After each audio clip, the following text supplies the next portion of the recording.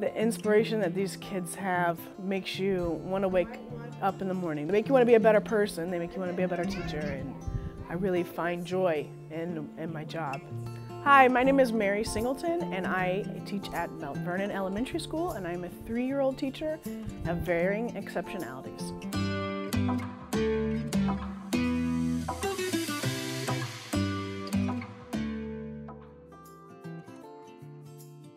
I love everything about teaching. I mean, I was born to be a teacher. It's in my blood. The joy that students bring to me, yeah, I love I love feeling the love. I love the compassion that they have that sometimes as adults we can become a little bit bitter and they they show us the the true meaning of joy and, and happiness and forgiveness and love and uh, that's definitely where my passion comes from.